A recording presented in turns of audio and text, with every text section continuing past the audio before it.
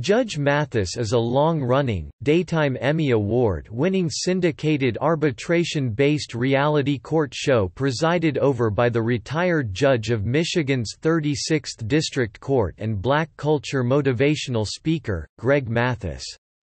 The syndicated series features Mathis adjudicating small claims disputes. The series was originally produced by Black Pearl Entertainment.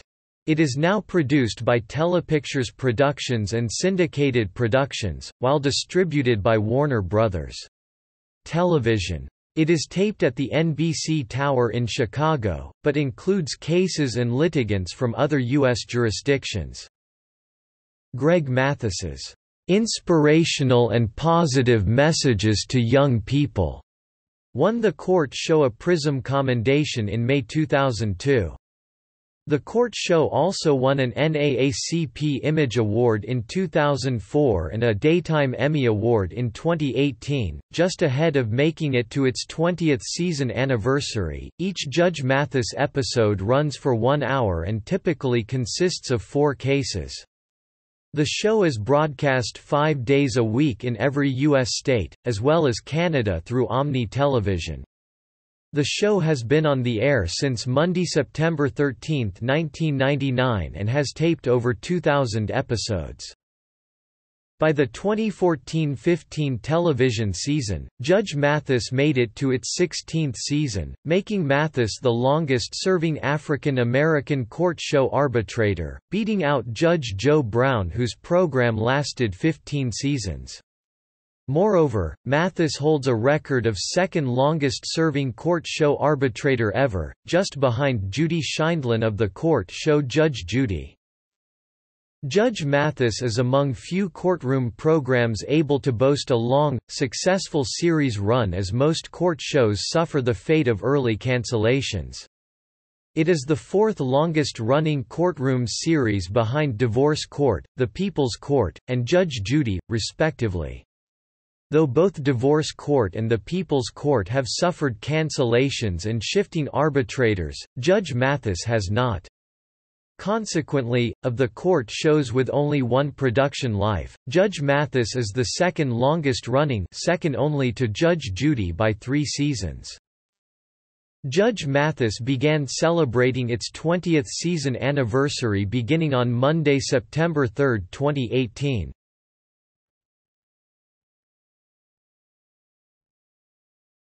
Topic: Show format.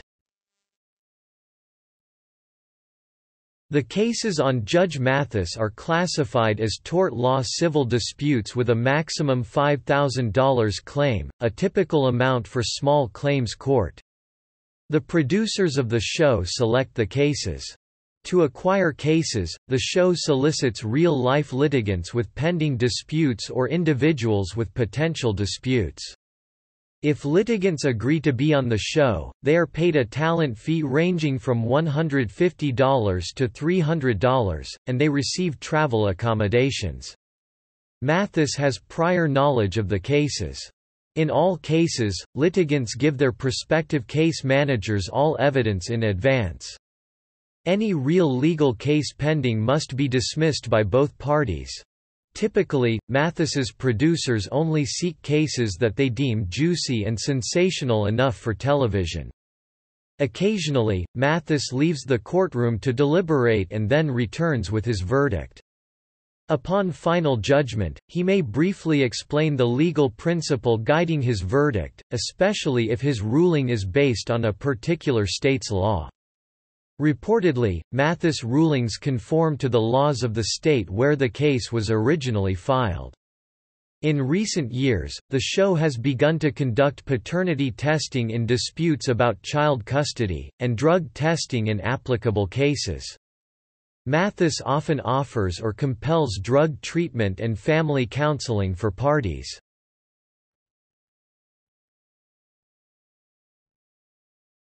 Topic: Incorporation of life story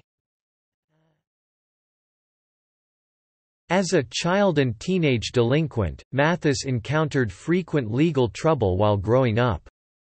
He was a member of a street gang in Detroit, and he was arrested and sentenced to jail for illegally carrying a firearm when he was 17 years old. It has been stated that the key to Greg Mathis's success as a judge and arbiter is that he's relatable.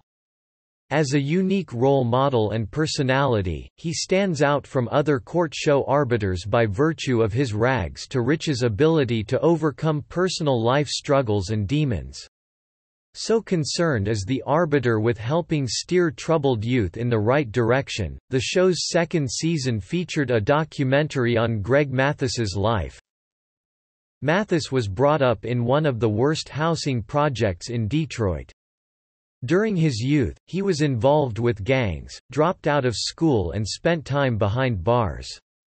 Growing up as a gang member and heroin dealer in the mean streets of Detroit, Michigan, Mathis had done plenty of time in juvenile detention centers before age 17.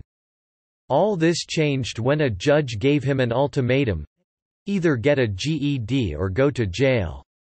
At the same time, Mathis found out his mother was dying of cancer. Rushing to her side, he promised her he'd turn his life around, which he did. He attended college, passed the bar, and earned a law degree, became the youngest judge in Michigan's history, and then served as a Superior Court judge for Michigan's 36th District. Mathis has frequently used his courtroom series to highlight his troubled youth turned success story as a way of motivating and inspiring his audience, especially youth audience, that there's no adversity that that they can't pick themselves up from. It is from his background where Mathis derives much of his courtroom formula. For example, his show's opening theme was formerly a brief documentary of his powerful life story. As another example, he takes a liking to litigants who have seen the error of their ways and have made efforts to improve and better their lives. Mathis also makes efforts to promote treatment for individuals struggling with drugs, using his syndicated show as a platform to send opioid addicts to rehab. In addition, he makes efforts to bring families together through paternity testing. Mathis believes rehabilitation is within almost everyone's reach if they just receive the right guidance, which is what he tries to provide. In addition to upholding the rule of law in court, he makes a point of emphasizing that education is key to a brighter future. The continued success of his courtroom series has led to the growth of a new generation of younger court show viewers. People understand that it's his concern for their futures that motivates many of his decisions. The judge's courtroom approach is advertised as a refreshing mix of social commentary, humor, and humanity.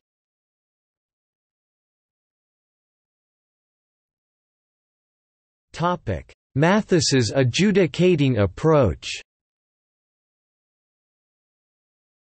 Mathis typically begins proceedings by having litigants expound on their side of the dispute, so as to gain insight into the matter. Cases on Judge Mathis tend to go deeper and to more revealing places than those of most other court shows. He also calls attention to peculiarities or juicy details exposed throughout the course of the proceedings as a means of making the cases more interesting to viewers. Furthermore, Mathis doesn't hesitate to tackle any social issues that emerge during the proceedings, tying his social justice perspectives to the cases. While hearing the testimonies, Mathis takes on a relaxed, attentive, understanding, and open minded nature. Rarely missing an opportunity to jest or poke fun, Mathis is given to fun, humor, good-natured ridicule and gibes, often rousing his audience to uproarious amusement. He sometimes cuts the tension even tension he himself has fostered with wise cracks or taunting remarks.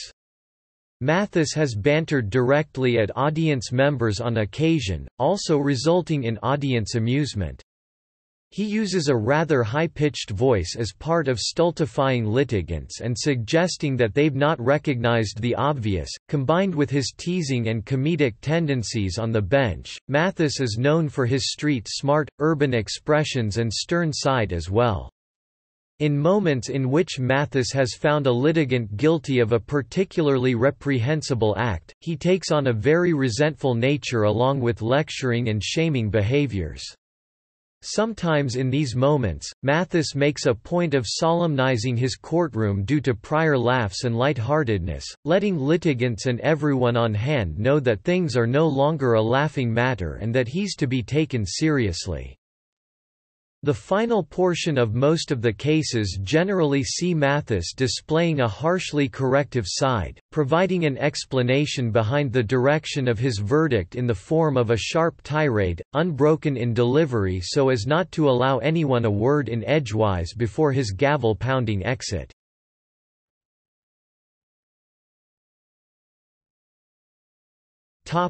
Reception Emanating from the triumph of his venerable courtroom series, Mathis has also made a name for himself as a prominent leader within the black American community and principal black culture motivational speaker at various media ceremonies and gatherings. The success of Judge Mathis is particularly noteworthy in that, generally speaking, court show programming has a very limited shelf life. The programs in this genre are lucky to make it past a few seasons. Of the long list of court shows, the only programs still existent in the genre originating from the 1990s or prior are Divorce Court 1957, The People's Court 1981, Judge Judy 1996, and Judge Mathis 1999. Of those four, only Judge Mathis and Judge Judy have not suffered temporary cancellations in the midst of their series run.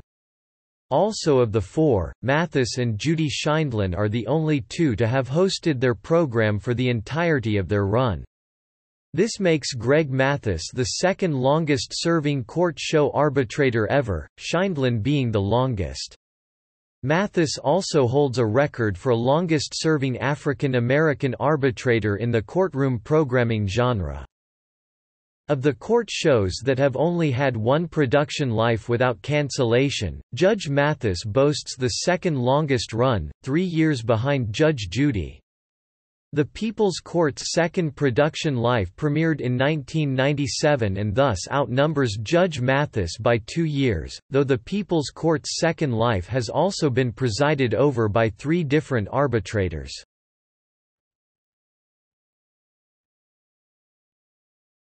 Topic: 20th season anniversary.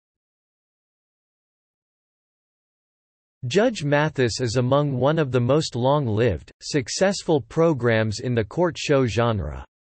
As of the 2018–19 television season, it's one of the two courtroom programs to have existed for two decades under one arbitrator.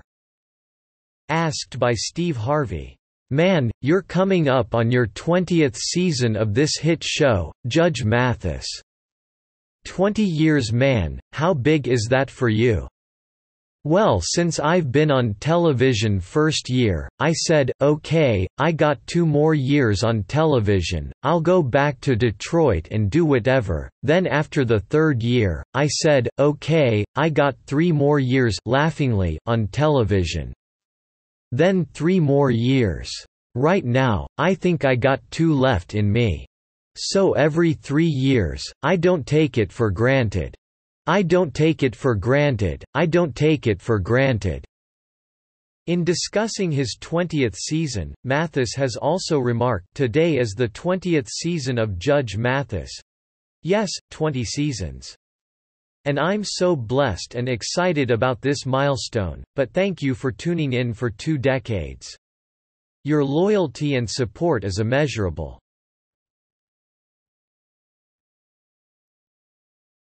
2018 Daytime Emmy Award acceptance speech. Mathis was crowned the winner of the Daytime Emmy Award for Outstanding Legal Courtroom Program in April 2018. In his acceptance speech for his first ever Emmy win, he credited his diverse staff of females and minorities. We are very proud and honored to have been awarded this Emmy. And after 20 years, I'm so happy for my staff in particular and the diversity that they represent. The majority of our staff are females and minorities. And in this day of the Me Too movement, I think this shows that if you hire more women and have a more diverse staff, you'll win.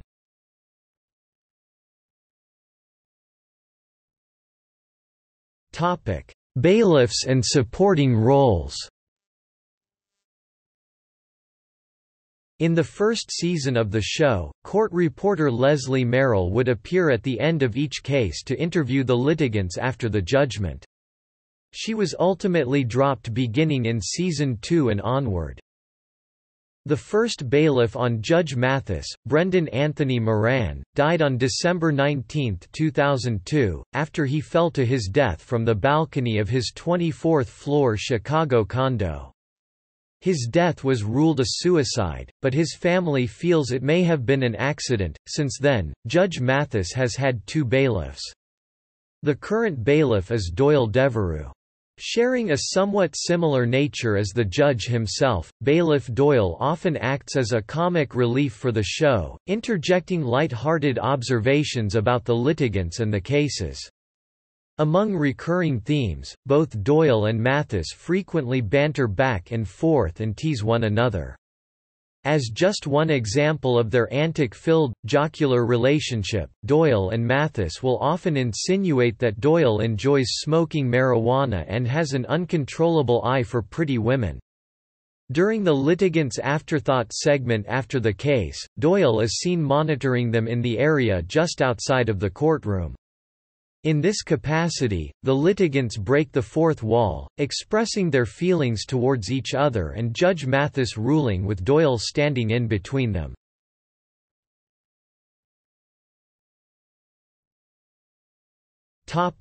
Crossovers and other media personalities Aspiring singers and rappers who appear on the show may even be granted a moment to showcase their talents from the lectern. In a September 2014 Rickey Smiley Morning Show interview, Judge Mathis expressed praise towards his courtroom rivals. In the interview, he was asked what three other court show judges he'd most enjoy sharing a meal with. For his first choice, he answered, Are you kidding? It would be Judge Judy at the head of the table. Oh my goodness, that Judge Judy is something else. His second choice was Judge Marilyn Milian, and third Judge Mills Lane. On October 29, 2015, during a 17th season episode of Judge Mathis, People's Court arbitrator Marilyn Milian took Mathis by surprise by interrupting one of his courtroom proceedings. In the episode, she entered through the door to the left of the judging bench that Mathis uses to enter and exit the courtroom and stated, Hey, hey, hey. Excuse me. Let a real judge do this. Following that, she exchanged greetings and hugs with Mathis, who responded, That's right. She taught me all I know, the best judge on the People's Court. I'm going to get some consultation from her in the back. In response, Milian stated, "...the realest sick judge I know." In other media, the Judge Mathis show appeared in an episode of The Steve Harvey Show. Romeo, Bullethead, and Lydia sued Steve and Regina over a damaged computer that Steve confiscated from them during class.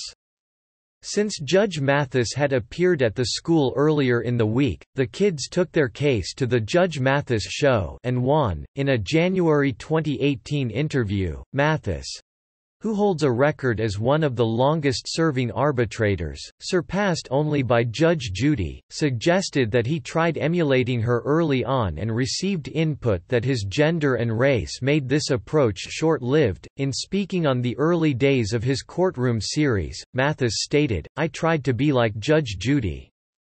And she was mean all the time.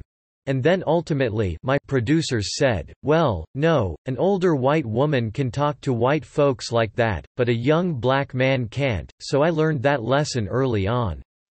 White folks love to see black people sing and dance.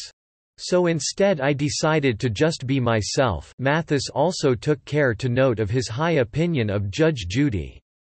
He stated that he did not deserve Sheindlin's salary, that her salary is owed to her because of her impressive ratings and that she even ran Oprah off television with ratings that surpassed those of Oprah's own show.